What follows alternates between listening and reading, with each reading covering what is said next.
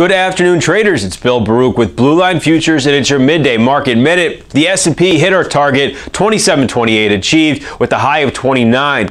You know, right now we're watching the Russell. The Russell's backed off from its high this session, which matched its all-time high from December 4th at 1564. It's retreated about 10 points already. We're watching the 1550 level on a closing basis, really more than anything. A close below there could encourage further profit taking. And listen, this Russell has lagged the entire move move, and it could start to encourage profit taking in other markets as well.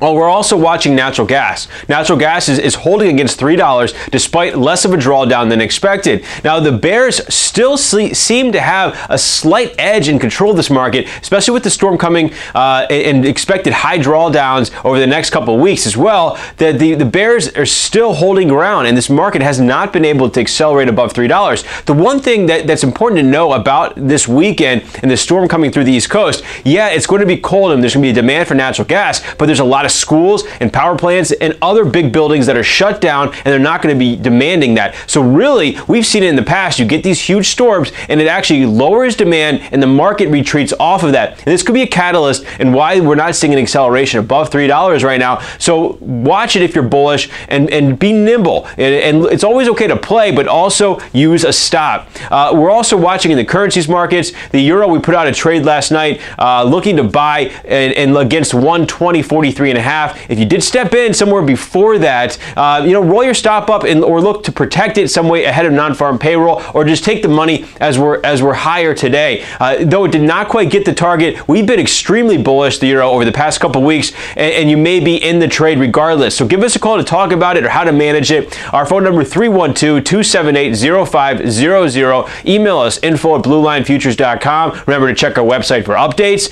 But also remember, futures trading involves substantial risk of loss and is not suitable for all investors. Thank you very much. Bye.